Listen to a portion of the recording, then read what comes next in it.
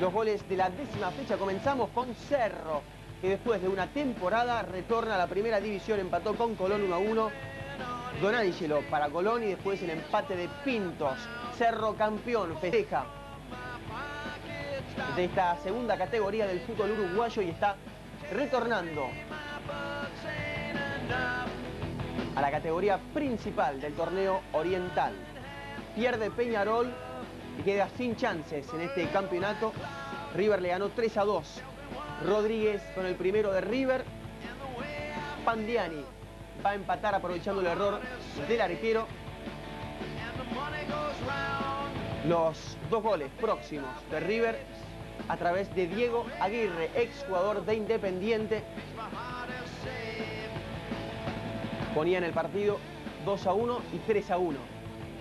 Las dos definiciones de Aguirre. El segundo, en su cuenta personal de cabeza.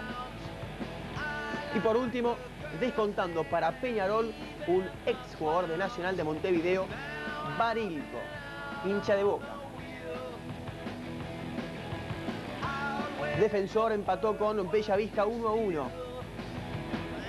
Giaco Maxi para Bellavista y Martínez empata para Defensor.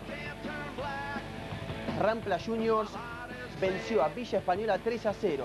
Fajardo, Barragán y el tercero va a ser otra vez de Fajardo, más que gol, un golazo, del mismo que había anotado el primer grito para Rampla. Espectacular, por arriba del arquero, lo de Fajardo.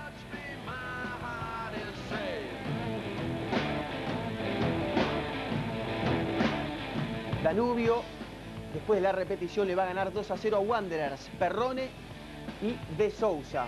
Los goles en la victoria de Danubio.